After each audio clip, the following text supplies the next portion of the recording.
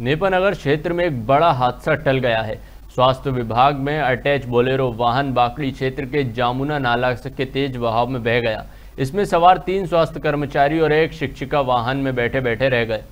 गनीमत यह रही कि एक जगह वाहन रुकने पर उन्होंने उन्होंने वाहन से कूदकर अपनी जान बचा ली। इसके बाद में नेपानगर पुलिस और स्थानीय ग्रामीणों की मदद से वाहन को बाहर निकाला गया। सूचना पर नेपानगर थाना प्रभारी ज्ञानू जायसवाल घटनास्थल पर पहुँचे, जहाँ उन्होंने लोगों की मदद से स्वास्थ्य विभाग के वाहन को निकाला। इस दौरान थाना प्रभारी भी वन वाहन को धक्का लगाते नज़र आए।